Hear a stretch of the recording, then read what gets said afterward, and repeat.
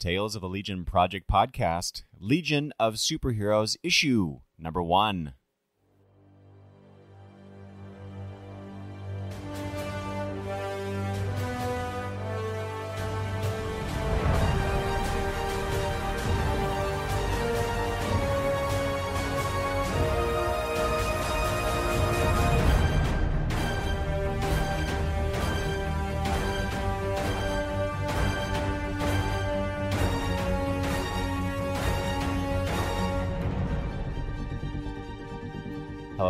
To the Tales of a Legion Project podcast. This is where Peter and I talk about Legion of Superheroes comics and other things outside of the numbered issues of the Baxter run. Peter, this is a momentous occasion. Because you're not Eric, you're someone totally different. I'm, I'm I'm Eric's doppelganger from Earth 47. 247. oh man, I screwed that up already. Yes. No, you're right. we actually get to talk about an a current at the moment on the stands huzzah huzzah an, an honest to gosh real legion of superheroes ser- series back at dc comics Which we haven't had for what, about almost 10 years? uh no i don't think it's been that long since the Oh, it yeah, since Okay. the end of the I was, yeah, I was trying to do math in my head on the fly, and that never works Yeah. well. So whenever that new 52 series ended so we're talking like what thir- 2013 2014 somewhere around there 2015 yeah all right, yes. But yeah, a new series, and we're wrapping it up into a Tales episode because our regular episodes are getting really long, and we wanted to make sure we had enough time to talk about this new issue. Uh, that we gave it enough of our energy and enough of our, you know, attention, um, because it is a momentous occasion, as as you said. So this is the fourth Tales episode, as Eric mentioned. Um, we get to talk about a whole bunch of different things. So yes, we are going to talk about the Legion of Superheroes uh, ish, new issue number one, and um, that came out just so people uh, know that came out on November sixth. We're recording this on uh, December December the eighth. And the second issue was supposed to have shipped by now, but it's not going to ship until uh, December 18th. So we get to squeeze this episode in.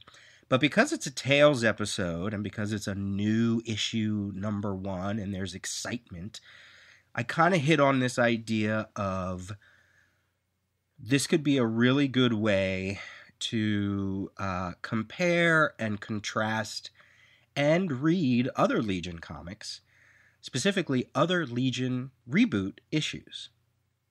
So we're going to talk predominantly about the Bendis and Ryan Sook issue.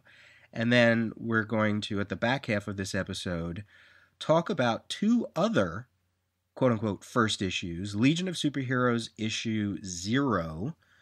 This is uh, the what they call the reboot, uh, the Archie Legion and that's back from uh, 1994, right? Yeah. Um, 25 years ago. We're going to talk about that because that was uh, the first time that the Legion got um, rebooted for a, a new generation, if you want to say. And then the second issue we're going to talk about, or the third issue we're going to talk about, is Legion of Superheroes issue number one from 2005, which people call the three boot era. So, doing this for a number of reasons, you know, we've said it before. I love to go back in time and see how things connect or grow or evolve. It gives Eric and I a, a way to talk about other eras of the Legion that we may never get to or not for like, you know, years. Um, and it's a way to hold like a, a magnifying glass up to this new issue.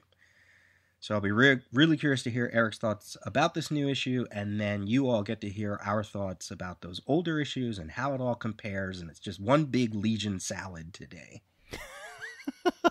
Legion salad. That's good. What's the dressing on this salad, Peter? Uh, Horaz. Horaz dressing. Ooh, can't wait to get to that. Mmm, yummy, yummy. Uh, any any thoughts to any of that? Uh, no, I, th- I think this is a, the, the, uh, be a good discussion, um, especially going into those past reboot issues. Just if if someone's listening to this episode, uh, if this is your first episode to the Legion Project, Tales of the Legion Project, um, we have talked about previous new Legion appearances in some of our other episodes. But if you want a quick rundown, this new Legion has appeared in Supergirl 33, Superman 14, 15, and 16, and then the two issue Legion of Superheroes Millennium Prelude to this series. And you can hear all our thoughts on previous episodes about those uh, random issues. But um, we're going to talk about Legion of Superheroes number one. All right, uh, we'll do a synopsis here. Uh, but first, the credits for this book. Uh, Brian Michael Bendis does the script, which I thought was interesting that they they can't they say it's a script. Ryan Sook on pencils, Sook and Wade von Grawbadger on inks. Jordie Bellaire doing a wonderful job on colors. Dave Sharpe doing letters. Brittany Holzherr, associate editor. Brian Cunningham, editor, with a cover by Ryan Sook, which incidentally is uh, the same cover or the same image as the the um, uh, print uh, that he was uh, um, dispensing at the uh, Rose City Comic Con this last time that I went. Mm-hmm. So I thought that was nice. Uh, Peter, did you get the the uh, variant covers as well? I did. I did. Yes, I, I did. I did not. anyway, so synopsis for Legion of Superheroes number one. Yay!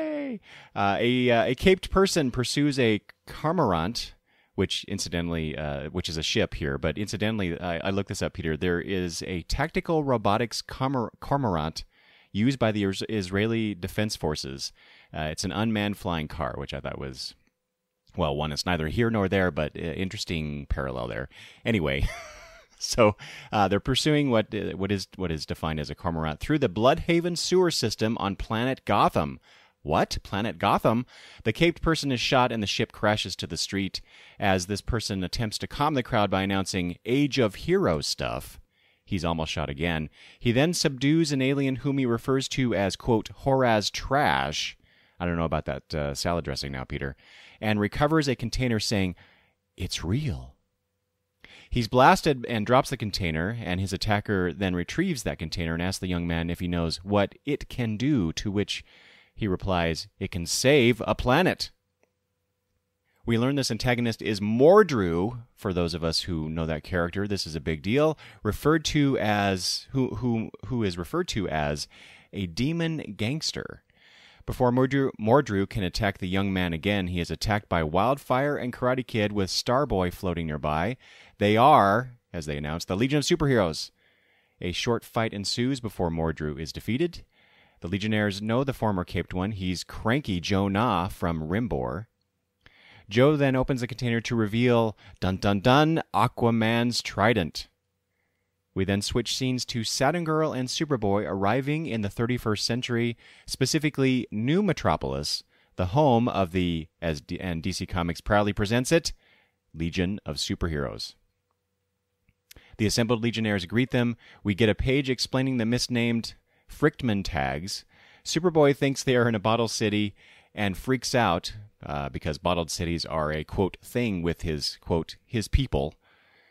And we see Rose from Legion of Superheroes Millennium in just one page. Superboy's slight panic attack allows for an aerial view of New Metropolis, which is the Legion headquarters. John and we discover that Earth, New Earth, uh, first seen in in the uh, aforementioned Legion of Superheroes Millennium. Issue number two is a collection of domed cities. Cosmic Boy attempts to get Superboy back to Legion HQ when a red alert is sounded at Legion HQ. Uh, uh, this is the arrival of Jo and the uh, the three Legionnaires we saw at the beginning. There is much discussion about Aquaman's trident, uh, what Aquaman's trident can do, which in, which includes possibly bringing back Earth's oceans Cue the arrival of more Horaz, and cut to the ending where the president of the United Planets is none too pleased with the recovery of the Trident and the arrival of Superboy. Wow, there's a lot going on in this issue. Hmm. Uh, before we give our general thoughts, you mentioned the covers. I did get the other two covers. Uh, you know, because I got a random uh, eight dollars just floating around somewhere. Uh, no more than that. There, there were there were five, four ninety nine. Um, Which is why I didn't. I decided not to get some of those. yeah. Well, you know, discount comic book service. Blah blah blah. um, so I got the two other ones. One of them by Jim Cheung, which I really like. Um, it just has uh, the Trinity of the Legion floating uh, in front of the Legion symbol. Um, and uh, it, the colors are kind of muted. Uh, you can see their specific costuming, but the colors colors really muted. Uh, nothing really to say to it other than uh, it's the new Trinity, Cosmic Boy, Lightning Lad, and Saturn Girl, and we've had plenty of other covers emulating, you know, the, the founders or showcasing the founders. So uh, yeah, I, I did get that. I think partly what's interesting about it, and and this is something in my notes in, in terms of the issue itself. When when Ryan Sook leaves this book or gets a filler, I don't mean if, I mean when. Um, Other artists have to have to draw his designs, and um, they're complicated. So it's kind of nice to see Jim Cheung, who is also very detailed himself. So, uh, you know, we just get another artist's rendition. Um, just like Ivan Reis in the Superman books, who also did a fantastic job with these costumes because they are busy. Mm-hmm. And then um, the other Ryan Sook one, which I, I think I like even more, um, is uh, is the viewer looking at a, a view screen, um, basically looking at the uh, orientation that the Legion of Superheroes have created for Jon Kent for Superboy. Uh, that they talk about in the issue, and you can see Superboy pushing the button "Begin," and you get to see some Legion icons, and it's it's, almost like looking at a mission monitor board. Um, Computo AI 5, welcome Jon Kent to your 21st century orientation. And we get some story stuff in it. You know, we get the destruction of Earth, the inauguration of United Planets, the formation of the League, uh, excuse me, the Legion, um, Legion ideology, historical constitution, treaty, science police stuff, etc., etc. So uh, it, it's an interesting storytelling uh, cover. Um, it may not necessarily stand out if you're just sort of looking at it, but I kind of dug it, and um, so um, yeah, I like it. I like I like those two variants, um, and I like the main cover. The main cover, as you as you mentioned, um, since we're digging back in time to all these other Legion series, uh, the main cover kind of looks like the Tom Feister Tony Harris covers during the Legion run with uh, Dan Abnett and Andy Lanning. They did a whole bunch of covers. Um, issue 25 has this same sort of thing where it's like Superboy flying with the other Legionnaires. Um, the only reason it's kind of in my brain is because um, I managed to pick up a whole bunch of those issues for 25 cents not too long ago, ones that I were, was missing. So, um, yeah, legions, legionnaire members flying towards the camera or near the camera or whatever is it's that's not strange. It's not strange. So um, these covers are, are are all nicely designed. I think. Yeah, and that that uh, the Legion uh, series that you referenced, that's something that I am uh, not at all familiar with. I have the issues. I bought them a couple years ago, but I haven't read them. So this that's all new Legion territory for me when I when I eventually get to them. Yeah, yeah. Flip through those covers around the twenties, and and and you'll go, Oh, oh, yeah. yeah, I, I'm looking at it now. Uh, Yeah. 25. Yeah, that's that's definitely you can see a connection there. Yeah. Uh, uh, one other point about the main cover that um, um, I don't know if I noticed before: Lightning Lad's eyes. Uh, he has heter- heterochromia, I guess it's called. Um, Oh yeah, they're they're they're different colors. right. And I, I almost wondered if that's because he's a twin. Yeah, that'd be- Ah. That'd be kind of interesting if Light Lass also has uh, that same thing, but in reverse. So Yeah. you know something that really connects them could be fun. Yeah, I hadn't noticed that either. That's that's that's a nice detail. Uh, so as the cover says, the adventures of the 31st century begins here. Shall we give our big thoughts? Yes. All right. What did you think? I'm nervous. Well, like I like I mentioned at the end of the synopsis, boy, there's a lot of stuff going on here. Um, a lot of characters, and but uh, I felt like uh, Brian Michael Bendis and Ryan Sook did a, a, pretty good job of not overwhelming us with with too much. Um, I, I feel like we got the, a sufficient amount of of whelming uh, sort of like what Superboy is going through. So I, I, I, the way I uh, approached it or felt the way about or how I felt about it was was I they did a really good job of making me feel like what I imagine Superboy is feeling like, um, except for the whole the whole uh, Dome City panic attack thing. Um, but but uh, you know, overall, it was uh, a nice way to you know structurally that we get that beginning with just a few characters, a little bit of action, and then we we um, uh, transition into Superboy coming into it. And if you've been reading the uh, the events in the Superman title, and uh, you mentioned the Supergirl issue, uh, and then also Super sorry the Legion of Superheroes Millennium. Um, you get a good you already have a good sense of where we're at at that moment and and then we and then you know it just expands from there to show us the universe you know in this case uh, new earth and we get we get some villains introduced we get some intrigue at the end with uh, with uh, the, the president and so you know i thought that was a, a pretty well constructed story uh, for a first issue um, but boy there are a lot of characters you know if not if not uh, named they are, are certainly shown and I think Peter, I counted um, twenty nine Legionnaires. Is that right? Oh wow, I didn't count. Yeah, wow. I, I, I, it feels it feels like that. well, and here's here's the thing. I counted. I don't. I, I must have counted several different images. The cover, um, there, there's uh, that first uh, bit, and we'll probably talk talk about the specific stuff here in a bit. But there's there's the first introduction of Superboy to the Legion in the 31st century. Um, I think it's a two page spread, and then later towards the end, there's another two page spread showing the Legionnaires. There's also another two page spread earlier in that where they're all kind of in silhouette, and I even counted that. But I've I've counted these these things multiple times, and at one point, I counted 30 characters, but I think I was counting uh, Triplicate Girl twice in there, um, which which was kind of difficult because uh, the way that it's drawn in some of these in some of these uh, uh, images. But anyway, I think I think we're at 29 characters for the Legion, including Superboy, including Invisible Kid. Oh, I didn't even. there we go. That's 30. I don't know. I, I, have no idea. I can't.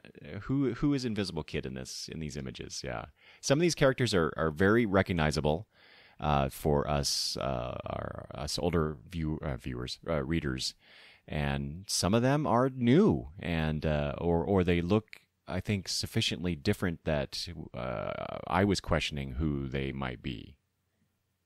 Yeah, we we don't really I don't think we see Invisible Kid talking in this issue, but we did in the Millennium issue number 2 mm-hmm. um, when they were taking the picture, the, the, big Legion picture in that issue. So that's the only reason why I, I, I thought we should really include him, even if we haven't seen him. No pun mm-hmm. intended. Yeah.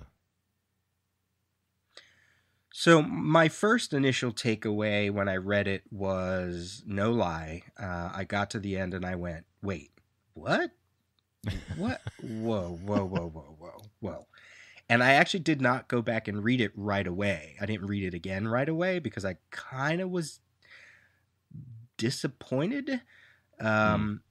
Some of it is because it felt like I had read bits of this issue before uh, and this is before I thought of the idea of reading some of the other reboots.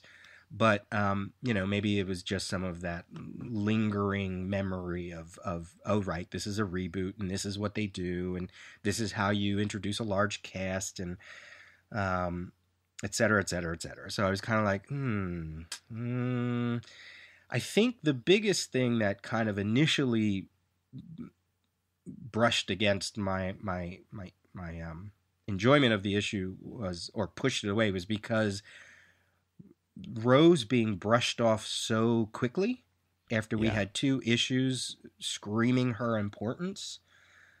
Um, that kind of turned me off, and then I also felt like we we never really got in this first issue what the Legion is about. Even even the little bit that they mentioned in Superman, for instance, where they talk about you know.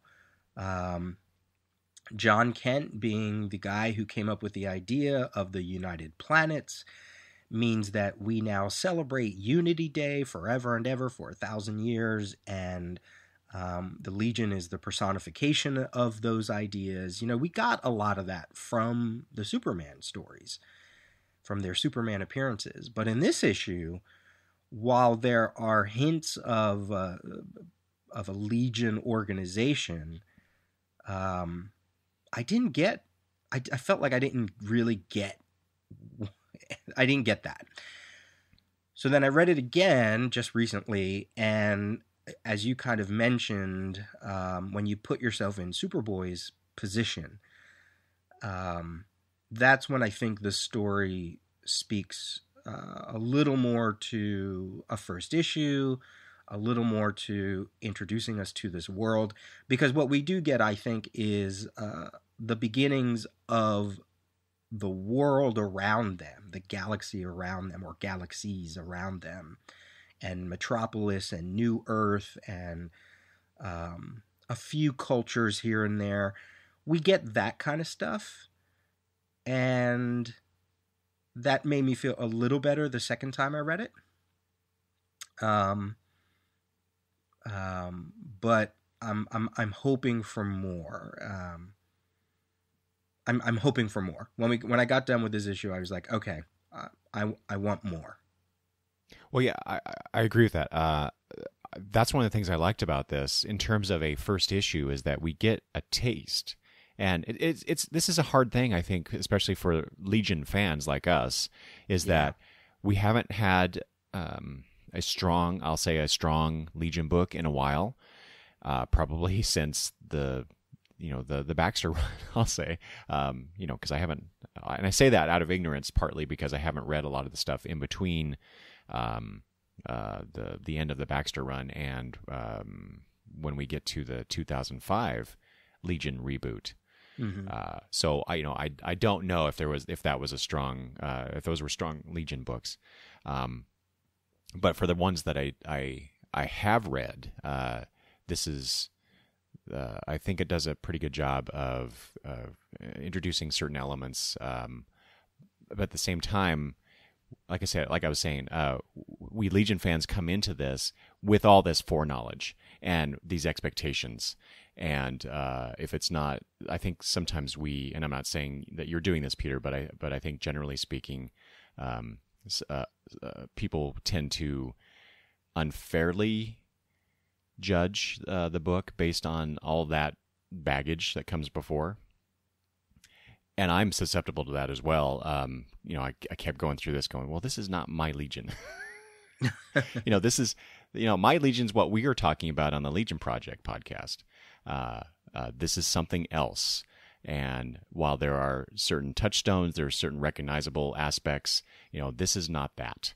Uh, but flip side of that coin is that well yeah that's that's right but this is this is the new thing so what about it works and uh, uh, hopefully uh, i'm going to come at this at um, from a perspective anyway of uh, try not to bring that baggage along i guess and so then then you know that's why i was like trying to to get at um, in my reaction to this issue what is it about this this story uh, my Legion knowledge and and love aside, what about this story works and what doesn't work about it?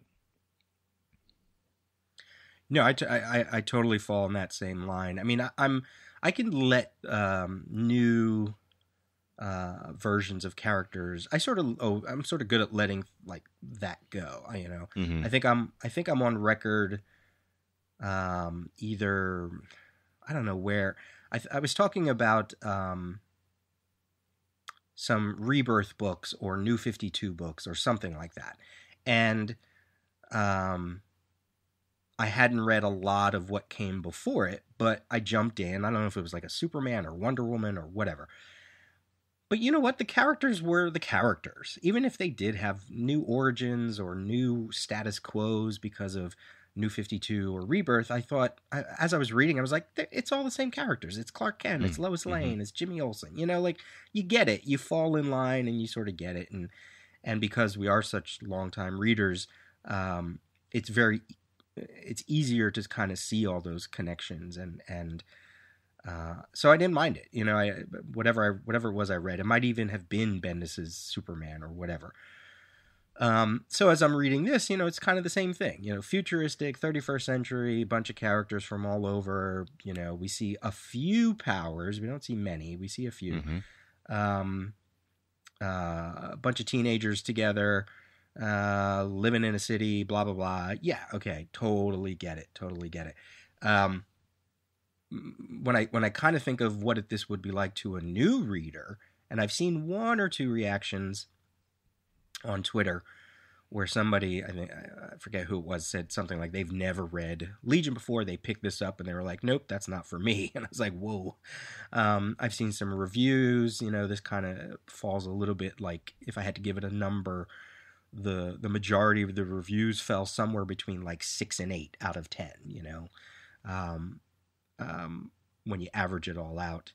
Um, I don't know. I don't know. It's kind of hard for me to say what would this be like for a new reader because I've never been. I haven't been a new reader in a long time, and um, I think you're right. Like um, once once I let go of like, yeah, this is not my my Legion. Um, uh, well, I, it's not even that I had to let it go. It's just you know, as as you're sort of watching Bendis and company play this story out play this first issue out. Um, it's going to take time. There's something very television about it a little bit. Um, I think the cliffhanger is terrible. Oh yeah, the, the, last page. I think the cliffhanger is terrible. So you said about Bendis doing scripts. Um, I kind of wonder how much of the story is being told through Ryan Sook's artwork and mm-hmm. maybe through their communication very much like the way Paul Levitz used to do with Giffen, um, where there's an outline and Sook is just allowed to sort of play within that outline. And I wonder if that speaks to why, while there is a lot in this issue, I, I wanted a little more depth. So, um, yeah, it's, it's, it, this is going to be a hard sell for, for me. I'm, um, um, I don't want to I don't want to constantly drag on it because it is a Legion book. I, I want to love it, and there are some interesting things. There are some interesting things. So, do you, why don't we start there? What what worked for this issue? What worked for you? Well, again, back to the uh, kind of touching on what I said before, but you know, the to me, this the I thought they did a, a pretty good job of uh, thinking of it from a new reader standpoint. Um, and even just uh, you know a, a lapsed reader in in my case, uh, we get a little bit of inf- information, a little bit of character introduction, and then you know and slowly we we build up to this larger cast, and then we get a little bit of the the the, the world, like I said, and and then we get we we end on that terrible cliffhanger, and I, I totally agree with you on that. And I thought, you know, structurally, this this make this is a pretty good first issue for for new people. I, I I'm actually really surprised that of what you just said about the the reactions to this. Um, I, I, I, I now I have to go. I guess find this stuff because I'm now I'm really curious as to why uh, these people don't think this is a, a, good jumping on point. I guess for for this new Legion book. Uh, is it the number of characters? Is it Bendis? Because you know, there's this is a very Bendisy book um, yeah, yeah. just in the dialogue. And that was one of the things I was going to maybe touch on with you and ask you about. Um, uh, you know, there people like me. I, I like Bendis and I tolerate his his idiosyncrasies, but I know a lot of people out there, uh, uh, some some of my close friends who don't like Bendis. They don't like the way you know they don't like his dialogue, for example. Um, and this is like I said, this is very Bendisy. Um, uh, I think the the fault, the only f- real fault of this visually is there. There just there is a lot on the pages, um, a lot of characters, a lot of um, things, and not all of it. You know, uh, I, I I complimented at the top of this uh, when I mentioned Jordie Bellaire, um, but there's a lot of dark pages in here too to you know to obfuscate the characters or the situation or something. Um, and so to me that kind of that kind of coloration uh, just kind of muddies the page uh, if it's not done. I, I, hate to I hate to sound critical, but not done well, and I, I think some of that's going on here. Uh, that's just you know my personal take on it. So you know there's some production things about this book that that really kind of um, um, grates on me. But the, but the story itself, I'm I'm I'm pretty okay with, generally speaking. That that I don't think I answered your question. I think you we wanted to get into some specific things, right? no, let's talk. Well, let's talk about the dialogue because I think um, um, that is a. I think that is a major part part part of the book. Um, and I I agree. I I uh, I also didn't don't mind Bendis's dialogue. I I sort of feel like. Um, you know, you either gravitate to an author's voice or you don't, and mm-hmm. that and that's totally fair. Um, but you know, if you keep reading an author that that you don't enjoy, then I that's really on you more than anything, regardless if it's like your favorite team or your favorite genre or whatever. You know, um, there are times where I think Bendis's dialogue doesn't help. Um, when it gets to be a little too quippy or a little too cute. Um, yeah. Um, and one of the comments I read uh, from one a, a, reviewer a reviewer was, you know, a lot of this dialogue seems interchangeable. You could, even if Chameleon Boy was saying it, you could give it to White Witch and it wouldn't matter. You know, there's there's there's not a lot of sort of like delineation, different different voices in terms of how they speak, um, and and I think that that's a fair criticism. I think, but I do think you get I think you get a lot of information when who is it Wildfire when he says, "Boy, Jo Nah, he's cranky," but then again, he is from Rimbor, you know, like okay, that's character stuff right there. It's little, it's small, but when you have a cast of 30, that's what you got to do. Um so I did like that, you know. Mm-hmm. Um when Superboy says to Saturn Girl, "Boy, you're real, you're real, you're real formal. And she goes, yeah, I am. you know, like there's an eagerness there. I thought that actually was cute. I thought that was, that spoke to Saturn Girl's personality.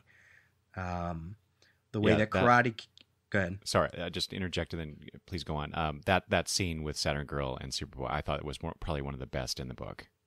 It, it showed Superboy's tension and it showed Saturn Girl's excitement. Um, and you got you got to just give over to it, you know. When when we see Karate Kid and Wildfire and Starboy the first time, and Karate Kid's all about names, you know. I'm the the Karate Kid, and this is the Legion of Superheroes, and um, Wildfire's like, all right, you're not gonna. I guess we got to do that, you know. Like, okay, that's excitement. That that there's something about being in the Legion that they are excited about whether it's because this is the day where Superboy joins or it's one of their first sort of major public outings. Like, I get that. And it has to come from the dialogue. So if you blow over a lot of that stuff, I do think you miss uh, some of the characterizations. So, mm-hmm. so on that level, um, you know, you have all those characters who are able to tell Superboy what's going on with New Earth. And you just sort of, it's not just coming from one person, it's a bunch of young teens. Um, you know, and I've had discussions with college age kids and young and high school kids, you know, doing shows and stuff. Yeah, when they talk, they all talk, they interject, they they they fill in the gaps. So uh, I I actually feel like that was uh, one of the strong points uh, for the book. Mm-hmm. What did you? Uh, was there anything that, um, since we are older established established readers, the little bit of Legion lore that's dropped throughout the book does that work for you? Do you think it's just a hook? Do you what? What do you think about that? Well, I didn't. I mean, I didn't really feel like there was a whole lot of Legion lore that was dropped in here. Um, there's, like you said, there's a, a couple a couple bits of dialogue that kind of talks to it. You know, like the Rimbor thing. We we if you've read Legion of Superheroes Millennium, you already know about New Earth and all this stuff. So that big reveal wasn't all that you know um, revealing. Uh, but you do get a sense of you know uh, the uh, well, you you get a sense of Superboy's reaction to that. You know, that that was that was okay. Um, but I, yeah, I feel like we're really low on that on Legion lore in this issue. Uh, it's just we're throwing a bunch of characters and ideas at at the the reader. Um, this is not this is not a uh, you know your your planet Earth uh, in the 31st century. This is a totally different thing, and something happened to where they, you know they're domed cities, but and uh, the Aquaman's trident is very important to to you know maybe bringing back that Earth. So you know they get a lot of you get not only do you have Superboy you uh, as as a link to the past, but you got this Aquaman trident thing, and the Age of Heroes. They talk about that, so you get a lot of, the, a lot of these connections between the past and this and the future, which I kind of like but there's not a lot of depth to them, I would say. Mm-hmm. And then it's just a matter of the characters, you know, who these characters are. We we know about Jo a little bit. He's cranky because he's from Rimbor, and and like you said, the uh, the uh, we get that that I thought was a wonderful scene uh, when we get Karate Kid and Wildfire talking there, and Starboy's kind of hanging out there. Um, you get a sense of their personalities, uh, but that's to me that's about it. And then you got that that intrigue like i said that that potential intrigue at the with the the ending of this um you know uh, what's all that about and why is this a big deal? And and it for me the, this book just posed a lot of questions that i want answers to.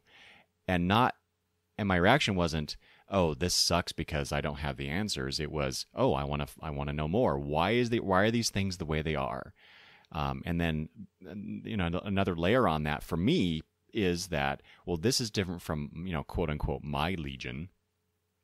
So how is it different? Why is it different? And will I appreciate the differences? Uh, will I will I gravitate towards them? Will I accept them and then and then let it go? So then I can just enjoy what this book is supposed to be, whatever that book is, whatever the book is supposed to be. Because I don't think we know what that is yet. Right and with those changes, what kind of potential new stories do we get out of it? Exactly. interactions or relationships or things like that. Yeah, and are we going? Is this just going to be as as in previous reboots? Um, uh, well, at least one reboot that I know of, uh, they just retold old Legion stories and just did them differently. Yeah, I hope they don't go that route. Yeah, me either and part of that the the one of the things that seems to be happening a lot is um, we we got a couple mentions of the of the 21st century uh, Aquaman's Trident, as you mentioned, this planet um, Gotham, which I think is in the Andromeda Galaxy. I think that's what they're. Uh, they mentioned the Andromeda Galaxy, so I think that's probably where it's from. Uh, and even just the the Madam President, Madam Honor President, uh, at the end, where she says, "What? Superboy's here, the son of of Superman from the 20th century." She says, um, "I don't know if that's a mistake or if they're, I, I don't know." Um, even even that is kind of a drawback to what we're familiar with. And then Bendis does a few jokes or a few lines here and there where somebody will say uh, something, uh, like Starboy says, uh, uh, hit it or or something like that. And Wildfire goes, huh? And he goes, oh, it's just it's a 21st century idiom. You know, it's just a, a, a phrase they used. So that's no stranger to the Legion stuff, but um, in, in terms of that kind of dialogue, I hope it doesn't play out too much.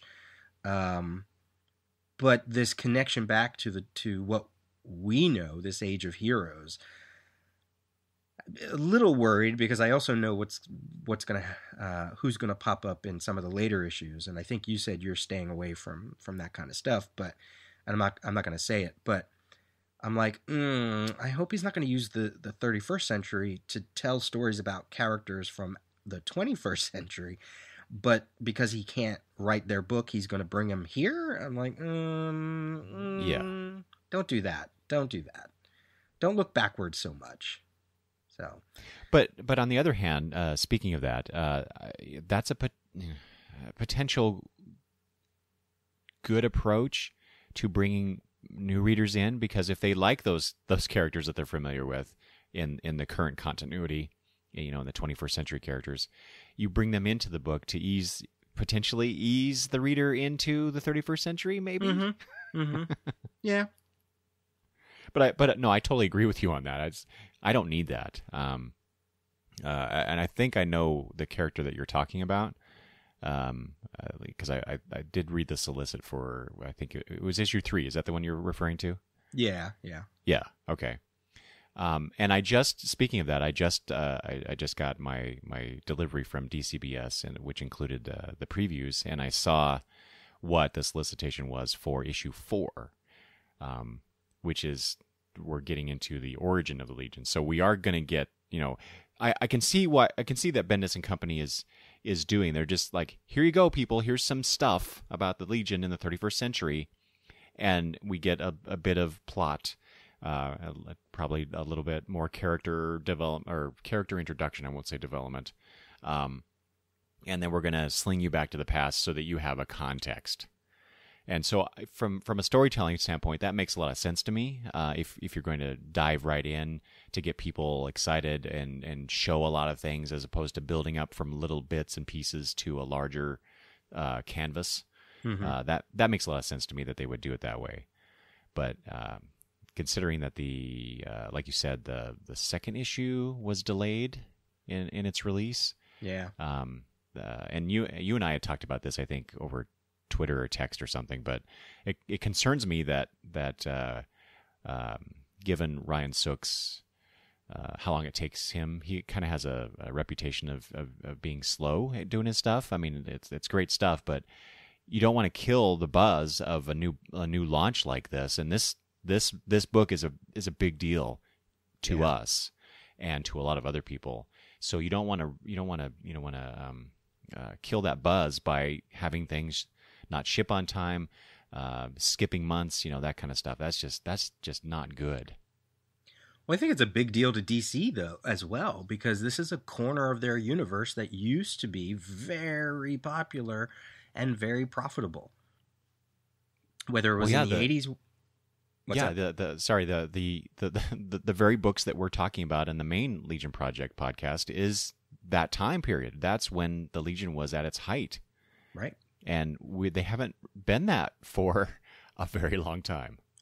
And even in the in the '90s, they they managed to have two titles, uh, some mini series that were going mm-hmm. on. I mean, it, it, I mean, the Legion is a part of their universe, publishing wise, that could give them um, another corner of uh, superheroics to dig into. You know, some people say they are the DC's X Men. Some people say they should be as popular as as like the Teen Titans in terms of other media. So whether it's a tease or having a couple characters on the Supergirl TV show, or although I'm not watching it, I think you and I both know that there was a slight tease at the end of one of the latest Young Young Justice seasons. Mm, mm-hmm. Um, this is a team that um, they want to get a, a, hold of in terms of its books because eventually that means they could spin it off into other things. And I think they had a they just were having a real hard time with that. And you're right, it will kill momentum if this book doesn't deliver. Um, in the way that I think, like I think Bendis's Young Justice is just great. I just think the whole Wonder Comics line is just great. I'm not saying that they are the best comics out there right now, but they are fun and again, it's Bendis being able to play with other DC uh, properties um, in a in a confined book. And Wonder Twins is fun, and Dial H, and we're gonna get Amethyst, and um, so you want this book to speak to the people that are maybe following that line or that are just interested in joining the Legion for the first time. So you're right. If there's a reason, if if I get a little heavy on it, it's because it I'm not the only one that's putting importance on it. I think DC was too, you know, mm-hmm. in the buildup. So you better deliver. And it's not going to be like a sleeper hit like Ultimate Spider Man was, you know? Ultimate Spider Man, uh, I didn't read it, but at the time, that book just came out. It wasn't, it didn't become Ultimate Spider Man until, you know, a year or two or three uh, after its initial release. So you can't just copy that formula again um, or try to copy that formula. Um, this has had a lot of high profile stuff in terms of images and a prelude m- micro series and appearances in Superman.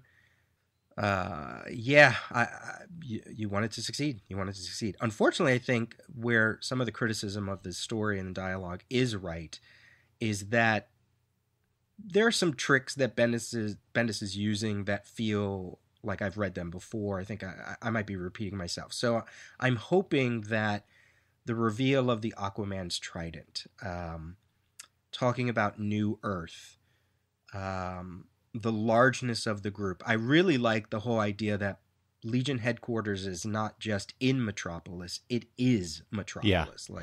Like that's great. That's like that's like taking future concepts and, and pushing it even further. Awesome. Love that. So my hope is that this whole idea about the oceans, um, uh, you know, which we'll get to in issue two, is this a way to really cement how grand the Legion can be? That they can build worlds like that.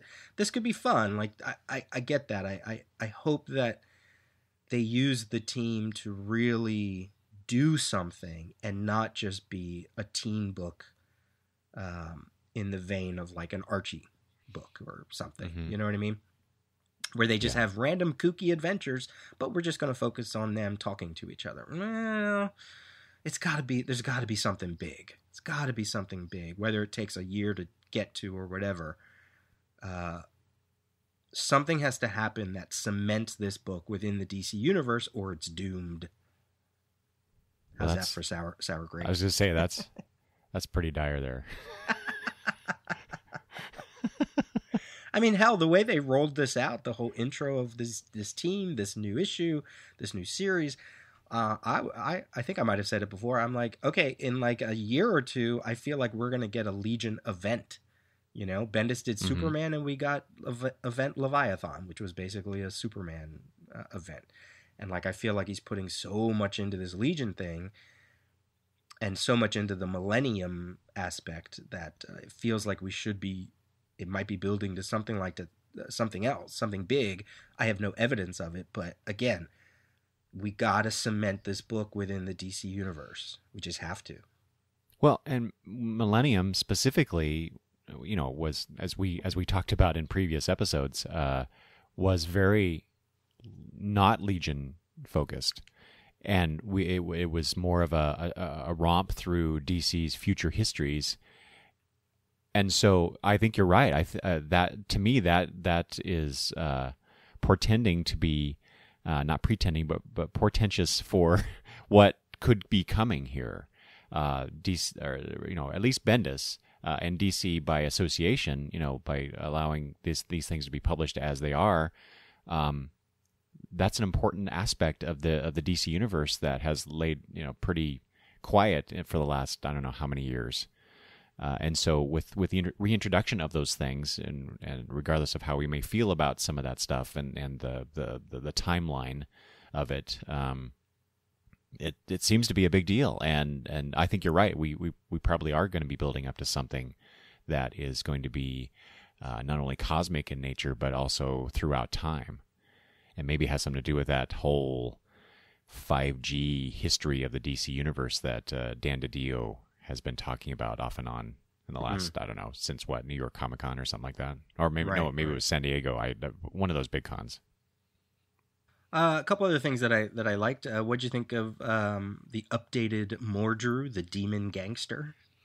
Yeah, boy, t- that was one of my my uh, my note points. Peter was that if because Mordru historically has been uh, one of the m- more potent villains in in their history. Um, you know, he has this unfortunate uh, issue with uh, being um, what uh, trapped early, and you know he gets trapped in something, and and he's he becomes inert, so that they're they're constantly um, uh, burying him.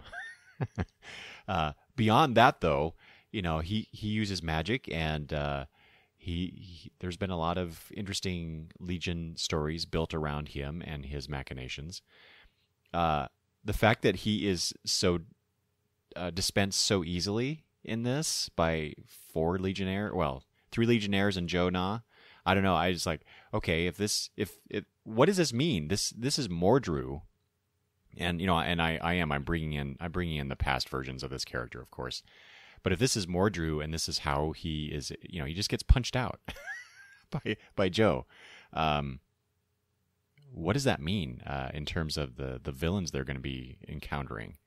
Uh, is this is this a is this a, a subtle message saying that um, this is not your your dad's legion? This is something other. Mm-hmm. Uh, is it um, uh, if if Mordru could be dispatched so easily, then boy, wait till you see the the, the next set of villains we're going to throw at you and the legion. You know, uh, Right. so I, I was very curious about that. I took it that Mostly. way too. Yeah, You know, they demoted him to a demon gangster. You know, yeah, Like, gangster. That's Yeah. so that's so weird to to think of. uh, yeah, I, I, I kind of took it like that, and and um, you know, they may use him again later, but I, I sort of felt well, I kind of like that. You know, use what what's familiar to longtime readers to bring him in to give him just a little bit of a hook, and then go right. Like we're not gonna. This isn't that Legion, you know. Mm-hmm, Um, I and I actually like the design of it, design of the character too. oh yeah, I thought that was interesting. Um, um, refresh of of the character. yeah, that's a perfect word for it. You know. Um, do you want to talk about? No, it's so hard because it's not like we really see a lot of them in action. But speaking of refreshing, like some of the characters, we've got to live Mhm. with a few of the characters a little more. What do you think of like Karate Kid and Wildfire and Starboy or your boy Jo Nah? Right, I know, Front right? And center for the first six pages. I know that's that's one thing I loved. Of course, uh, it kind of reminded me of the the five year later Legion because Jo was pretty predominant in those first several issues. Um, so that was nice to see. Uh, I I thought they did a pretty good job on a couple. You know, you you without without being explicit, you get a sense of if you know, of course, you know Ultra Boy, you know his his power set, but they don't announce it. I know it's just showing how he deals with Mordru that you get a sense of what he can do, and I thought that was nice. Uh, there's actually one I I God I wish they would bring page numbers back. Um, right after he defeats Mordru with that punch, they he he races over to that container that that holds the trident, and and you see the the typical super speed type uh, depiction. So you, you know again a subtle a subtle thing that they show on in that one panel. Um, I I love the look of the other three characters: Karate Kid, Wildfire, and Starboy. Uh, I thought that was a great um, uh, update to them. Uh, the only other thing I, I would say about it is that that banter between Wildfire and Karate Kid, uh, which we, we touched on a little bit, but you know that's that to me that was like the first, mm, uh, I guess, real Bendisy type dialogue that we get. Um, yeah, but it, to me it's okay, and I like the way you describe that. You know, with uh, you know uh, teenagers or you know young people uh, you get a group of them together and they're excited about something and yeah they'll they'll banter back and forth and they'll um, you know in a very friendly way uh, put down each other and that kind of stuff. Um, or at least you know when when I was younger that's what my friends and I did. So uh, that that sin that felt very real and very familiar. So I, I like that. It's it's also interesting how Starboy is the resident 21st century expert uh, in this rendition. And I, I again, uh, I might I might have missed some things along the way uh, for those those uh, Legion volumes that I have not read. Uh, but I don't recall Starboy being that that character Mhm. um, uh, before. Uh, but it makes a certain amount of sense given his most previous incarnation being and we talked about you know uh, him as a central figure in the last tales of the legion project podcast with the uh, the the justice league versus fatal five movie um, with with with uh, Starboy being back in that time period, that you know, in a roundabout way, kind of makes sense that he would have that that kind of knowledge. But you know, this is not that character, so you know, it's a, it's a weird mix of previous previous incarnations and and what that all that means. So Yeah, and we get a couple other th- things too. We get um, uh, Brainy uh, when he's looking at the trident. uh, You can see like a beam coming from his Yeah. forehead band. I I love that.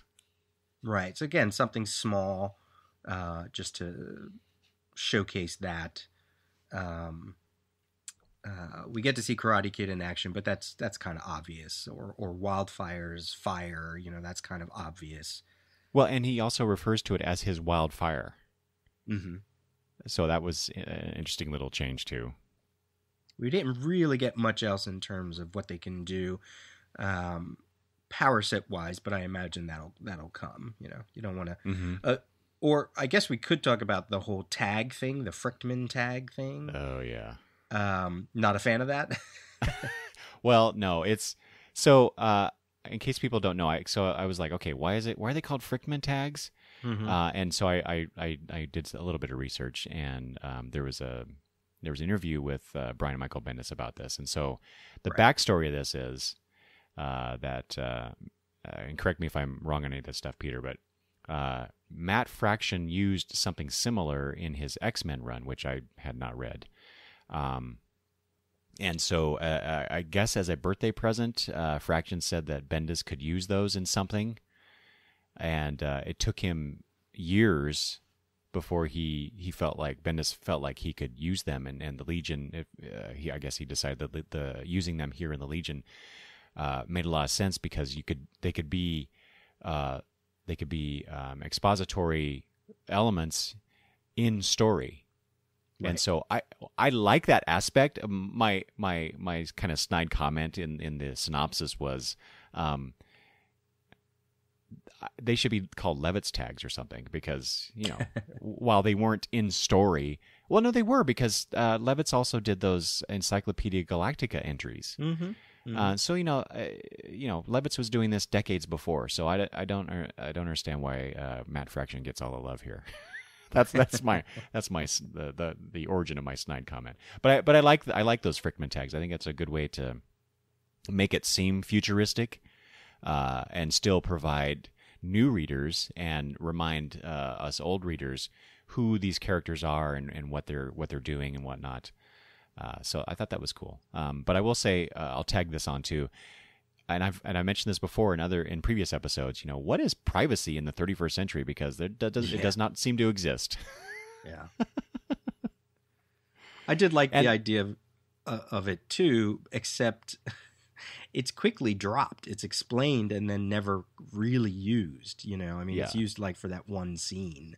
So maybe that's something uh, that'll that'll happen after this issue. But I, I hope they do use it because they just talked about it. So it's like, yeah, know, they make a big deal. Yeah. Yeah. yeah, yeah. So Well, and and it's weird because I'll just you know this to me this is a this is just a um, uh, a technical point. Um, why are they behind the characters? and and at, at at shoulder height, it appears to be they they do seem to be doing that consistently. Where if you're in front of, the person, you can't really see it, and if you're behind the person, you're seeing it backwards. so what is the point of these things? yeah, I don't think Anyway. they got a handle on it just yet. Yeah.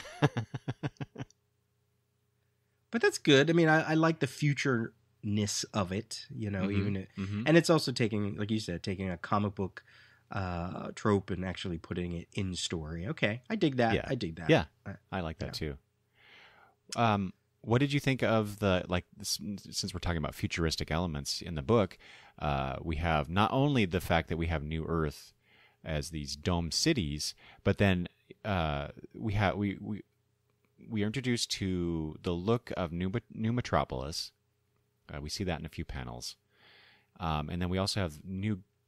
Oh, wait, is it New Gotham or is it? No, it's Planet Planet, Gotham. Gotham. So I originally, Peter, I read that as that is one of the the dome cities, but that doesn't make sense now because it does say planet Gotham. So Right. yeah. Anyway, And- but And Jonas says he says, you know, we were we've been chasing this trident all through the Andromeda galaxy, so it's even different from the Milky Way galaxy that that Mhm. Earth is located in.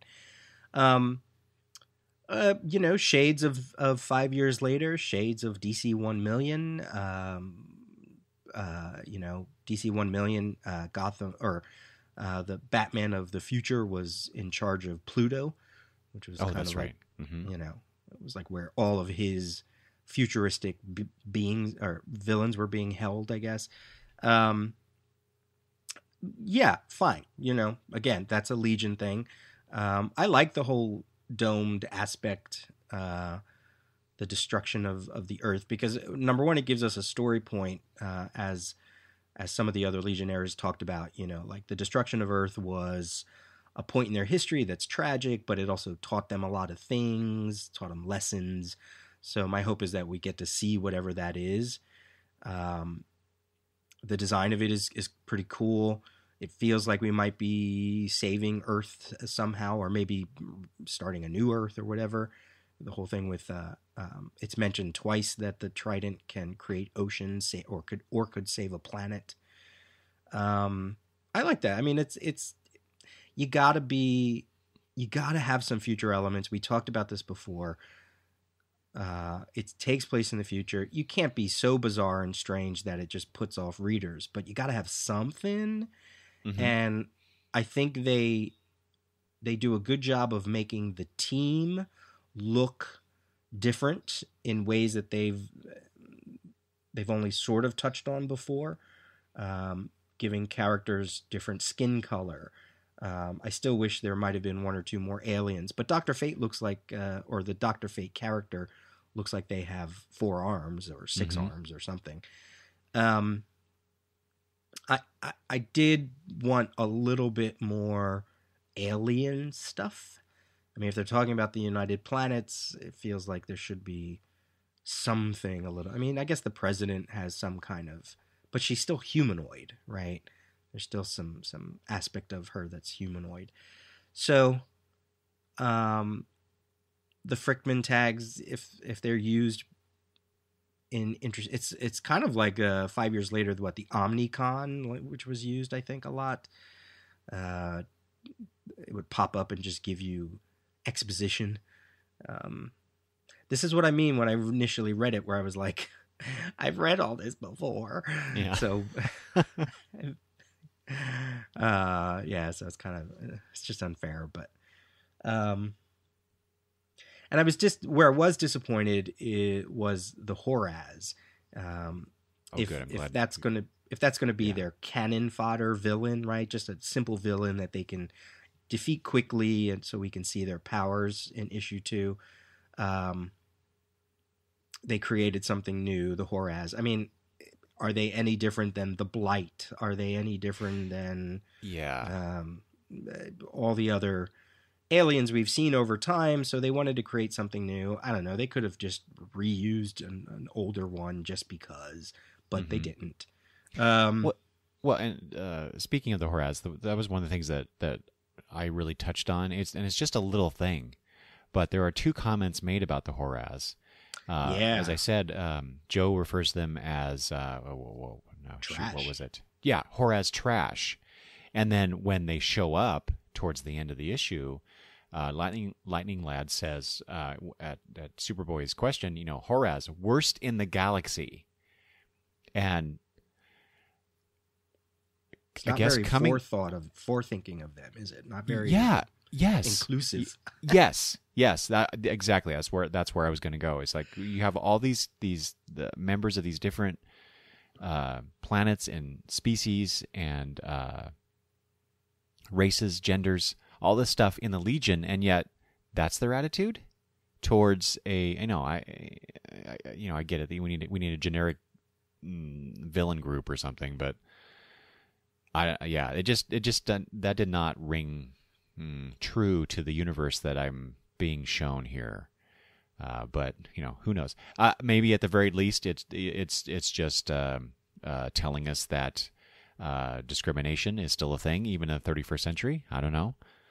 Um, Mhm. uh, I, you know, I, as much as I've read Bendis's work, uh, this this rings true from him in that he likes to touch on those things, those elements in his stories. So I, I, I, I, I can see that, but uh, you know, it, it, did, it didn't work for me in terms of the Legion itself. But then again, we we basically lived with the Legionnaires for like thirty seconds. So you know, what am I really basing that on?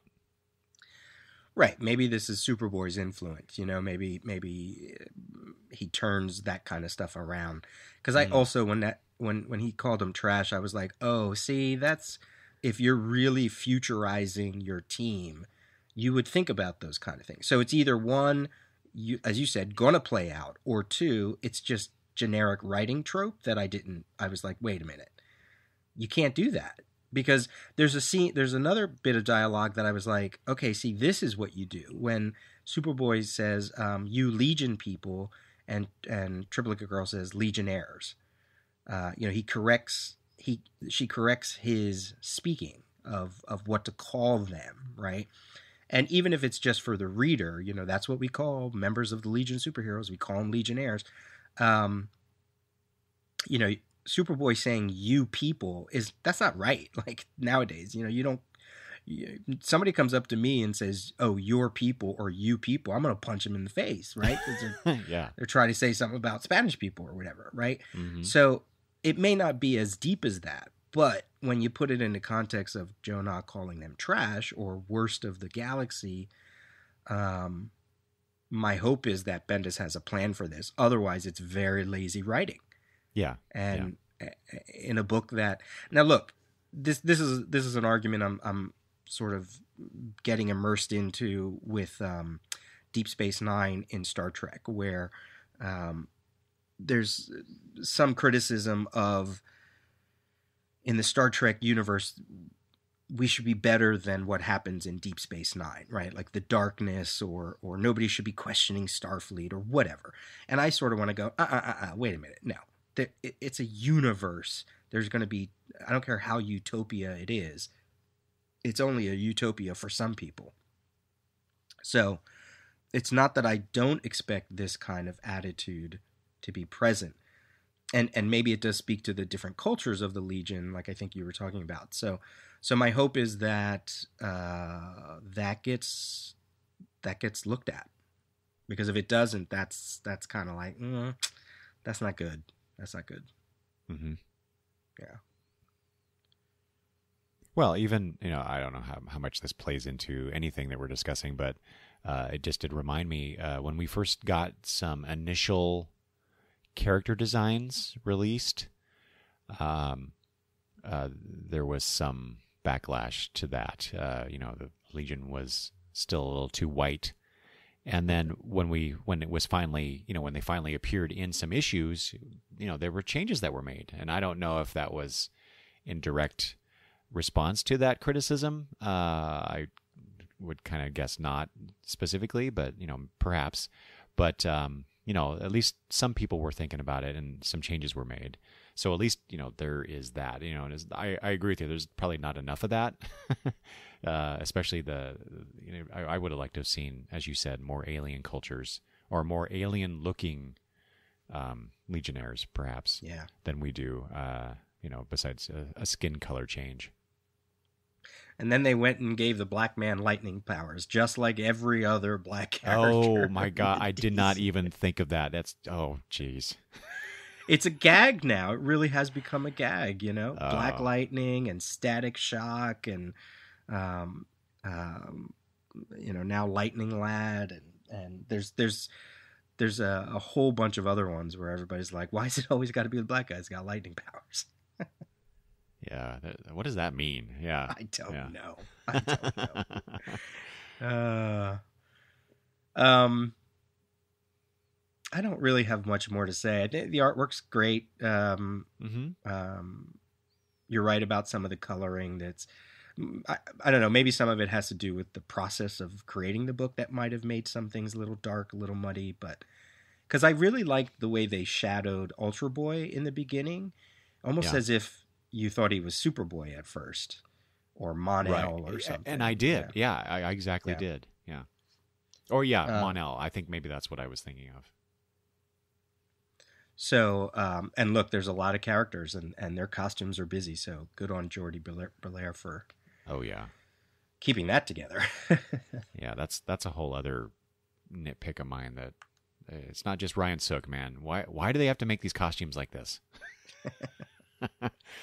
um, can we? Uh, we kind of touched on this, but I want to I want to uh, talk about those two scenes. Um, with with two female characters. One, the Saturn Girl and Superboy scene, and then there's that page with Rose. I don't know. There's, there's okay. not much to say about that, but let's right. let's start with the Rose one. Um, because uh, that was one of our questions, concerns, or perhaps even a criticism, is that we we get this this uh, point of view character in Legion of Superheroes Millennium, which is Rose and Thorn, and uh, if that's the case, uh, with her arriving in the 31st century, and that's when we first see New Earth, uh, what is her role here? What is why is she with the Legion? What what influence does she have over the Legionnaires or with the Legionnaires? And and uh, and so she's she's set up to be this very important person in the the Legion universe, and we get a bit of dialogue, and she appears in one, two, three, four panels, and that's it.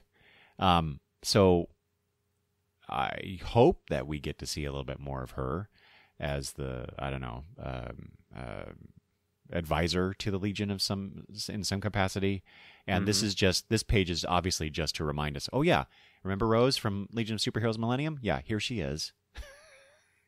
But if a new reader was reading this issue and didn't read that Millennium book, they would be like, "I have no idea what that is." Right, right, and that was one of the things I was I was going to bring up as well as uh, earlier when you were talking because how much of this is dependent upon that you read uh, the Legion appearances in the other issues preceding this. Yeah, and uh, there there's a bit of that. Uh, this is this is a major thing. The fact that Superboy is appearing in the 31st century, that and that ties us actually back to that scene with Saturn Girl. You know, uh, you can kind of get the gist. Oh, here's Superboy, and he's arriving, but there's obviously a backstory there if you didn't read those other issues, and so I I, I, I question uh, the the way that this is being presented uh, from that standpoint because I, I read that stuff, so it makes total sense to me. But but as someone who hadn't done so, I, they would just be totally lost, right? It, there's yeah. not enough here, or is there enough here? I don't know. I don't know. I don't know. I don't know if it'll mean anything next issue, but I. Oh yeah, I, that, that's the other thing too. Is yeah, what what are we going to get next? The rose thing just pissed me off because I was like, the you spent two issues on Rose from the Millennium micro series, nothing on the Legion of Superheroes, and then we flip it, we get Legion of Superheroes, and we get nothing on Rose. Ah, I don't get it. Maybe that's uh, that's uh, um, creative vision that that that flipping. You know, there there is a there is a, a balance that he's trying to create here. I don't know. I'm I'm totally making stuff up now. Um, but uh, I, uh, I guess the last thing I'll touch on uh, in regards to that scene with Saturn Girl and Superboy, you already touched on the major thing that I really liked. That uh, that um, you get you really get a sense of Saturn Girl in this. She's very mm-hmm. excited, but she's very earnest, uh, very direct. Um, that might be something else that she we see uh, later in the issue. But I love the composition of this page with the faces and then the the the them facing each other, and then you get to see them in the bubble. I, I, I just really like that composition. How we're we're kind of um, moving through time literally here, but also the space on the page and how they're interacting with each other. I just thought that was really d- uh, done really well, and Sook and uh, Bellaire did an awesome job on that page. Right. Yeah, the Legion has its own language visually, and you know if you go back to the Silver Age, whenever they pushed the time bubble or, or Superboy pushed the time bubble or they were traveling in the time bubble, you would see them going through some rainbow esque um, swirly patterns of all the years, right? And it'll say it'll say 1966, 19 uh, or 2066 and then 2566 yeah. you know what i mean so like there's there's language that they couldn't they can create visual language visual cues and clues so that whole emerging from the time thing, um, was was great in that page as you referenced, and it's the same reason why I kind of like the design of New Earth, um, because it gives the book something that other comics can quickly bring in, and we recognize it right away. Like I did like the idea that the whole metropolis is the headquarters, but we didn't. I don't think. I don't think we saw an actual main headquarter just yet. Right. hmm Um, you know. Unless Uh, unless where they where they landed the time bubble, that's that is where it is, but we're not seeing enough of it to really Right. understand that that's the Legion headquarters. Right. The, Just the like the lead- itself. Just like the Legion rings. I mean, that's you know, it's all this stuff is is is what made the Legion great. Um, so I hope they they I hope they just keep referencing that or or coming up with new stuff. Hmm in that vein. And I guess we should explain why we thought the cliff, why we keep saying the cliffhanger was junk. Um, we get a one-page thing with the president, as we talked about. She's worried that Superboy has come from the past. It's against rules and regulations, um, and uh, uh, so she's concerned. The, the, this president, this alien-looking president, is concerned, and she has some lackeys around her and then and then they say, uh, "Oh, and they stole something. Aquaman's trident. It's a complete affront to everything we've been to be continued." And we get a shot of her face, and she looks like Lady Styx from the old Fifty Two series. Mm. I was like, "Wait, what? That's your cliffhanger? yeah. That's where you put the commercial? That's weird. That that's. I thought that was um amateur."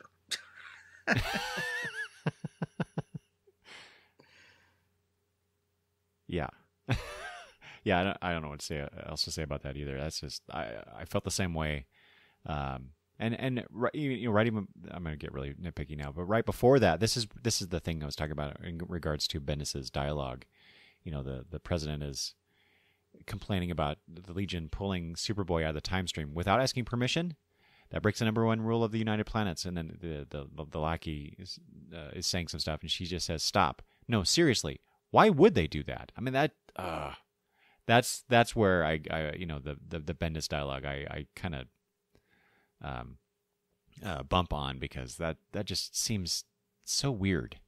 Uh, Yeah. and out of character for uh, which is weird to say because you know we don't know much about this character but it, it's it's very obviously Bendis doing Bendis uh, writing here Yeah. and then yeah Well- you get that tagged on to be continued it's just like what the hell is that I mean, this is where an editor needs to step up. I don't care if it's Bendis or not. Like, you need to go. Mm, you really think that's a good choice? exactly exactly Because See, I think that's- there's also, I think there's also a mistake on this page because the lackey's like, you know, they did it in honor of Unit United D, D like as in as in un- Unity Day, but saying United Day, right? Right. It's supposed to be I- Unity Day, right? right? And well, and that's that's why you you mentioned earlier that that the president says something about Superman from the 20th century, and so is Um, is this just is this just them being is this Bendis being cute because here we are a thousand years in the future, and so certain details are not quite right, but Yeah, that why would it. this person this this uh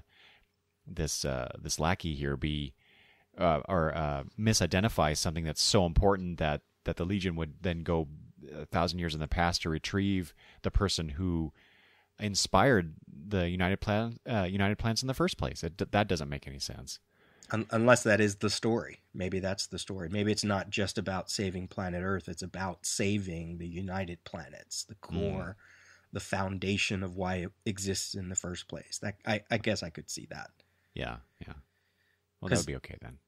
Yeah, because uh, Jonah even says it earlier when he's trying to catch that ship and he falls and, and he looks to the bystanders and says, That's okay, hero, Age of Heroes stuff, as if that's like a new concept brought back again, you know? hmm Um, Well, yeah. Do do we? I, I well, I mean, in the previous issues in which the Legion have appeared, we kind of get the sense that they've just they've just formed. Right. I think, and Right. this is this is you know they they in this first issue they've not been around that long. How long Yeah. we don't know yet, but yeah. And that's why they're all confused about wildfires like, you know, you're violating mm, something. uh, or later they say, you know, I think we broke a couple of those new rules or those rules. I don't know which ones, Yeah, but yeah. yeah, yeah. So yeah, the, the the charter that they probably just put together and they're not all that familiar with right now. right. I, I kind of like that aspect though. It's like yeah, they they just form like, well, uh, we we had a rule, right? Uh, are we breaking it? I kind of like that. And I just noticed that the United Planet, United Planets headquarters kind of looks like the Rock of Eternity a little bit. The old Shazam Rock of Eternity. Yeah, sort I was I was I was thinking the same thing. Yeah. All right. We don't do rating. What, what would you give a rating out of one through five? What would you give for this? We don't do Oh. this often, but what, what would you Oh. give? Um, uh, a three. How many how many Legion L's do you give it?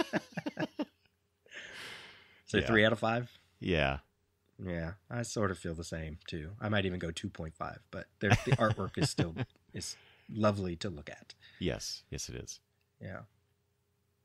And Sook's always good at this. Good at using double page spreads and double page spreads, but that have different panels in it. And and sometimes you know you got to work a little hard. Like, where am I going here? Oh, okay, I see. But um, I, I like that. I, I I really did like the the the, the layout of this book. Yeah, I think that's probably one of the strongest uh, elements of this book is is is the is that and and the, the structure of it. I, I I was I'm not a big fan of a lot of two page spreads, and uh, they're like what four in here, three or four, Yeah. and I didn't feel like they were wasted, Right. except for maybe the last one. So much to look at. Yeah, exactly. Yeah, it's it's yeah. With all those characters, you kind of need that space uh, to to to take uh, or make use of. So the other thing, as we talked about in the beginning of the the episode, that we're going to do is just uh, talk about how this book holds up in terms of a reboot compared to previous reboots, and um, I don't think we need to go in depth of those other two issues like we just did with this issue, but Mm-hmm. um, we read Legion of Superheroes uh, issue zero, and then we from ni- from around the time of Zero Hour, and then we read Legion of Superheroes number one from two thousand five. Um, let's uh, let's dig in and let, you know as as yet another reboot. I don't know what they're going to call this one. oh, Um, is it, uh, like uh, three boot and all that kind of stuff. Yeah, we had reboot or the Archie Legion. We had three boot from 2005. We had pre-boot, which was when they brought back the the uh, original Legion for Oh, Paul right. Levitz. Yeah. and now we have you know I I sort of consider this the Ultimate Legion, but um, we'll see where we go. Can we? Are we allowed to mix uh, company terminology like that? no, probably not. uh, to be to be honest, I thought the Archie Legion was very much the Ultimate Legion before Ultimate even existed. Yeah, that's. I would agree with that. Yeah. Um, so just real quick, some background stuff. Legion of Superheroes issue zero from August 1994, 25 years ago. Uh, that volume, that era would run from Legion of Superheroes issue 62 all the way through 125. It would then turn into a bunch of miniseries. It would turn into a series called The Legion and then eventually that would um, be wiped away for yet another reboot, which was Legion of Superheroes issue one from December 2004, 15 years ago. And that volume would run for 50 issues. Um, it was called Legion of Superheroes. It was called Supergirl and the Legion of Superheroes. And then for the last um, bunch of issues, it reverted back to Legion of Superheroes when Jim Shooter made his return to uh, the title. Um, so if we go back to Legion of Superheroes Zero, around the time of Zero Hour, um, this is by Mark Waid, Tom McCraw. Those are the writers. Tom McCraw, also the colorist. Stuart Immonen and Ron Boyd on art, and Bob Pinaha on letters. Um, again, DC was kind of uh, really putting some new energy into their line around this time. Uh, out of Zero Hour. I mean, we had Peter David on Aquaman. Um, we had Impulse showing up in Mark Waid, Mark Waid's Flash. We had Kyle, Kyle Rayner had just become the new Green Lantern a bunch of months prior to this. Tim Drake was in his first year as Robin. The new Starman series had begun. So this was, you know, kind of a, a high point in the early 90s for DC. So we got this uh, new Zero Hour and this new Legion team. Um, so, in terms of that reboot and that first issue, what did you what did you think as as a reboot, and what did you think in, maybe in comparison to this new issue? Uh, what were your thoughts about that zero issue? Well, uh, I'll preface this by saying um, I I have always enjoyed the zero hour event, and uh, uh, but uh, regardless of that, uh, this Legion of Superheroes number zero issue is where I broke off with the Legion at that time. Oh, interesting. Um, yeah, it it it. Uh, I, as I recall, you know, this is a long time ago now, uh, so my memory is not all that great. But I recall not particularly caring about this. The, you know, the the what what they call them? the batch. SW6 batch or something like that. When mm-hmm. they reintroduced the you know the the Silver Age Legionnaires in in the, in the the story. And uh, when they did this zero hour thing, and I read this issue, it's like, oh well, this is this is retelling the classic uh, origin story of the Legion with uh, a bunch more details and maybe some characterization, slight characterization changes, but not much else seemed different. Mm-hmm. And so I, when when you when you talked about talking about this issue and, and the other one from 2004, um, I don't really consider that uh, this Legion uh, Superheroes number zero to be really a reboot of uh, at all. It's it's very much what came before, only slightly different. Yeah, and and to pull the curtain back, Eric emailed me and said, um, "Should we read Legionnaires Zero, which is like the second part to this?" And I said, "Well, you know, if all they got is one issue to bring us in, let's just read the first one and see what happens." And after I read it and saw that, you know, pretty great early Stuart Immonen artwork. Mm-hmm. Um, and and the origin played out very much like you said they just they kind of played safe right? They just took what we already knew threw in some details added some new stuff. You know triplicate girl is rj brand's secretary. Um, phantom girl's mom is the president at the time although you don't get that in this issue right away. Um, th- there's new elements that they throw in uh, that still follow Legion lore, the way the way the team builds. But that first one by itself, I read it and thought, huh, if they would have kept going like this, I probably would have liked that Legion because it's not far off from what we got previous to it. Mm-hmm. Um, so so I said to Eric, you know, we weren't going to read that second issue, and I didn't read the second, the late Legionnaire Zero. I just flipped through it um, because I, I wanted to see if they had any letter columns or anything talking about you know that era. It really is the second part that becomes the new archie legion in tone because of the different artists they use. Um, is it philip moy i think? Um, philip and jeffrey moy. The the tone of of what the archie legion is doesn't happen until that second issue so yeah, we probably should have read them both. But um, the first issue, the first issue alone, the zero issue, I kind of was like, ah, oh, this is kind of boring. Um, yeah. It's just it's everything I knew. It's it's very safe. It's very humanoid white centric again. Um, I like the artwork.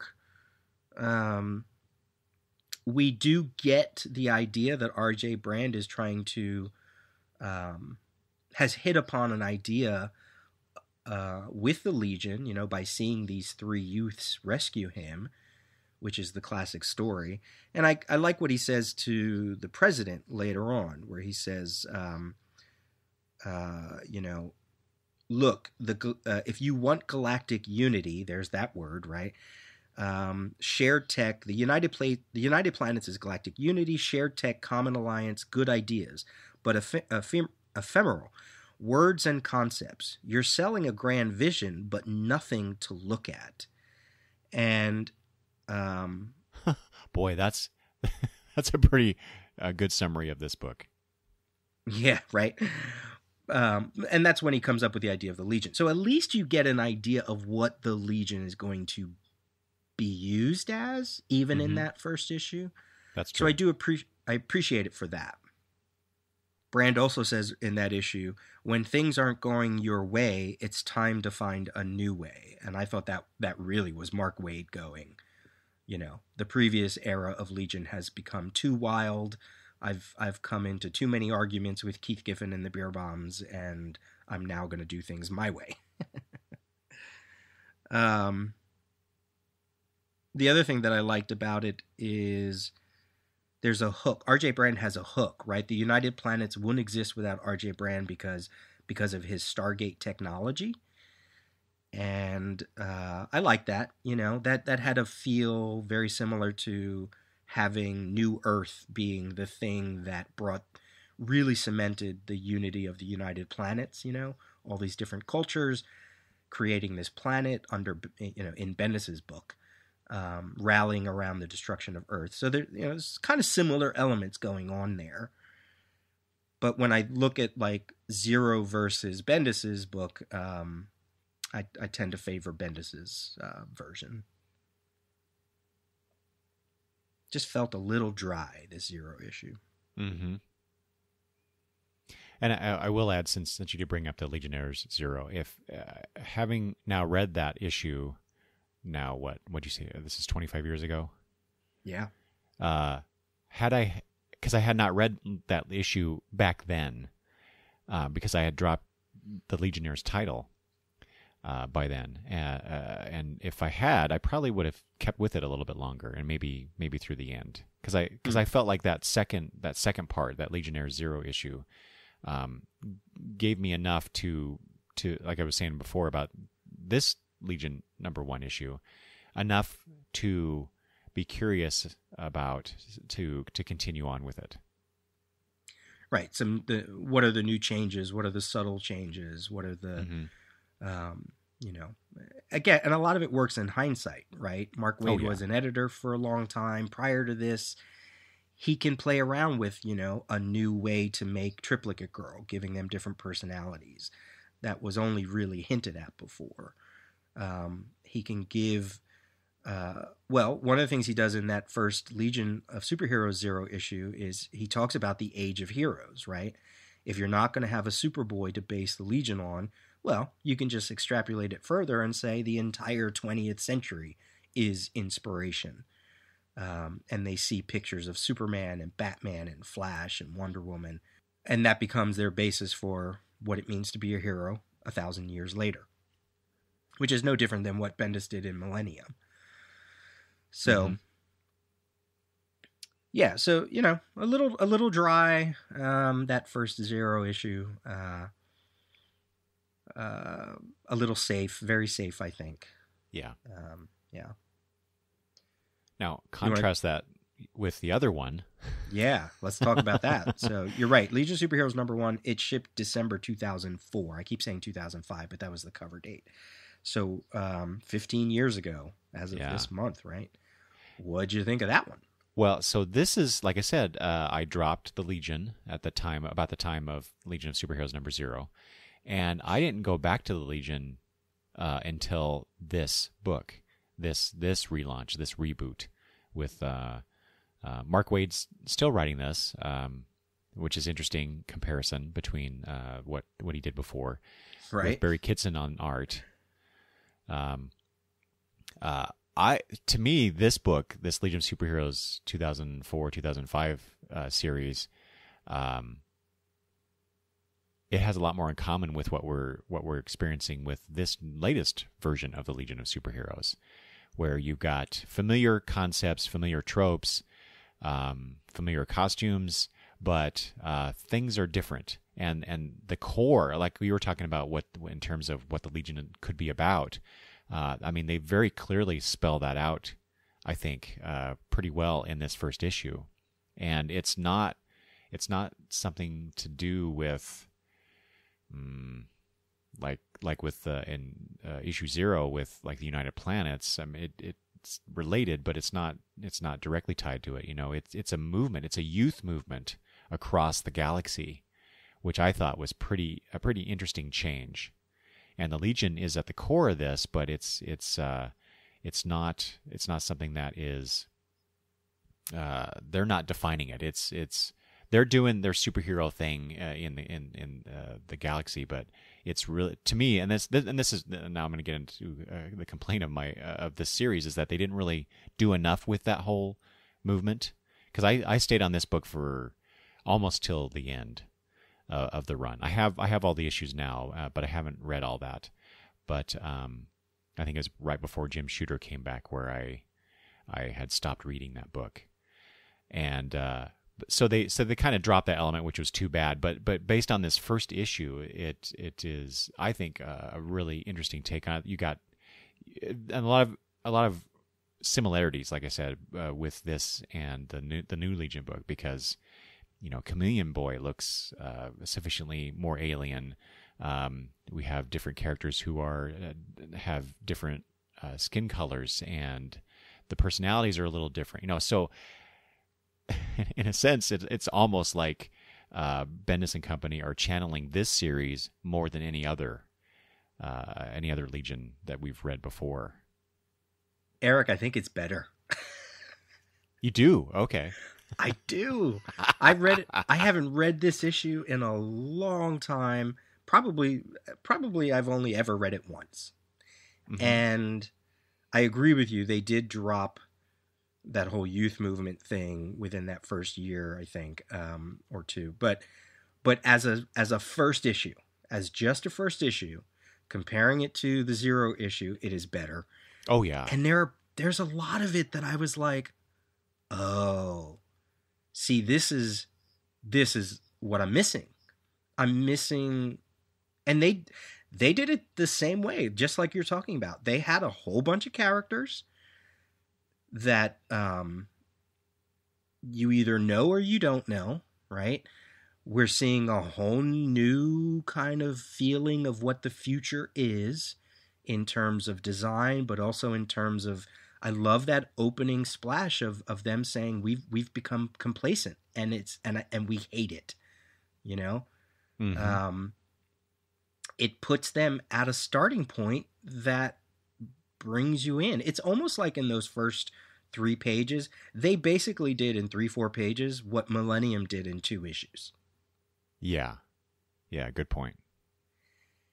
And I don't know, there was just something about it. The whole eat it grandpa thing. I mean, we're living in the world of OK Boomer right now. yes. and eat it grandpa is right there, front and center. Like, I, when I read that, I was like, I kind of want to read the rest of them now. but um, but as a first issue, I mean, yeah, you can compare artwork and some other things, but I don't know. And when it comes to me understanding what the Legion is, that first issue really laid it out, mm-hmm. regardless of what comes later. And yes, I know we said that we got we're going to give Bendis some time, but um, if I had to pick out of all the reboots um, that's the issue. That's the one that I thought kind of really spoke to. And and again, it is Mark Waid. Um, he's doing it in hindsight. It is very interesting that they are both Mark Waid to mm-hmm. a degree. And yet he's trying to extrapolate some things. Um, I, I like the whole ending, you know, where Starboy and is talking to Invisible Kid and saying, look, they're not here because of us. We're here because of them. Yes, that was kids. that was yes, that was the most interesting aspect of that issue. Yeah. You know, when it came time for the government to come shut us down, they all stood there and they they they they stood up for for us. Um I yeah, there were so many, you're right. There were so many similarities that it was scary and yet um, I kind of I, I kind of preferred that first issue. So mm-hmm. I, I I would agree with that. Yeah. Yeah, that that's uh that issue is like a, a four and a half for me. Right, right. Let me see. Around that around that time at DC, I mean, they had just finished Identity Crisis. Under the Red Hood was going on at Batman. Gail Simone was well into her second year at Birds of Prey. Green Lantern Rebirth was around. Um, Rucka was on Wonder Woman. I mean, this this was a high point for DC at that time. I wrote here. There's a philosophy. the The team is in action. They're still quippy. They're still making the same jokes, right? Like uh, Lightning or Light Lass is like, "Why did I ever date you?" And then she's like, "Why did I ever date you?" You know. but I like that because it kind of spoke to how in the future you would hope they are you know a little a little more free sexual sexuality wise or, or relationship wise they even talk about the gender thing with Chameleon, right? He's not mm-hmm. Chameleon Boy, he's just Chameleon. Um, the opening scene with the administrators talking to each other on a screen, yet they're in the same room. Yeah. That's awesome. Waid and Kitson, I don't know, I don't know how much uh, either contributed to this, but it, this issue is very prescient of today. Yeah. In a lot of ways. I it was uncanny when I was rereading this. Yeah, you're right. You're right. And I also love that when they went into the headquarters, it's very retro in there because if you think of like the origins of the Legion of Superheroes, right? They're they're birthed in the Silver Age with all the kooky dialogue and let's go get space ice cream and go visit the space zoo and but it's all drawn by, you know, Curt Swan and all these older other Silver Age artists who still kind of make it feel like it's from whatever decade that that is, right? Mm-hmm. So here's Waid going, yeah, they have old comic books and they have pinball machines and they have whatever else. So it's like you're still keeping that Silver Age feel that made the Legion popular, but yet it it's given a new twist with with with this future uh, uh by just having it in their headquarters, you know. Um, I guess it's similar to Bendis trying to use those little uh, tags for their names and things like that, right? It's like taking a very comic book thing but using it for your advantage. So that was another element that I really liked about that team, looking backwards but yet still existing in the future. Yeah, I uh, I wrote here way more inspiring than the zero hour issue or Bendis's run. Mm-hmm. Bendis's first issue. Yeah yeah. Still very humanoid centric. Still very, you know, I, I, wanted a bit more alien stuff in it, but um, yeah, if I had to pick out of the three, I'd pick that one. So yeah, I thought it was kind of fun to go back and look at that at those issues. Yeah, yeah, because I probably haven't read that issue in, since it debuted. So yeah, it, that was a nice a nice uh, trip down memory lane. and it and it uh, speaks to what we've been saying before we even knew Bendis was going to take over. You know, how do you bring this concept to new readers mm-hmm. in a way that works? And and we already we have a roadmap, and um, uh, the one that Bendis, the path that Bendis decided to take, um, has many other footprints in it already. And it's it's very interesting because uh, thinking back on that issue and, and the hype about the Legion returning at that time got me very excited. And uh, when I when I read the issue and it's like, oh, this this is not this is not what how it was before, but I was still interested and excited about well, what's coming next. And we only had one issue. It wasn't like like the previous reboot where we had the zero issues to re, to reintroduce the ideas before we got into the you know the main story in in the books, and uh, in in comparison to what Bendis and Company are doing, where they had several issues in Superman, a that two issue Millennium series to build up to this. Mark Waid and Kitson and the rest did it all in that one issue. Yeah. And I, that's pretty amazing. Yeah. Well, we'll see. We'll see. We'll see how we're gonna follow up on on this new current series. Um, uh, either because of the delays or, as I said, our regular Legion Project podcast episodes um, are getting chunky with, you know, just all different kind of stuff we want to talk about. So Eric did have a good thought uh, at one point before about, you know, maybe instead of talking issue by issue, we we wait until five or six issues have passed and kind of talk about it in terms of of how it might be in a trade. That way, if someone picks it up uh, or listens to the episode, they can just you know listen. Um, they can pick up the trade, or they have a whole bunch of issues. So I don't know. We'll we'll see how we react to maybe some of the other um, issues. It may also depend on do we have those issues before we record another episode, right? Like even if mm-hmm. we want to give quick thoughts issue by issue, um, and then maybe do a fuller episode on a bunch of issues. We'll we'll see how we plan it out. Anything else? No, I think that's it. Yeah.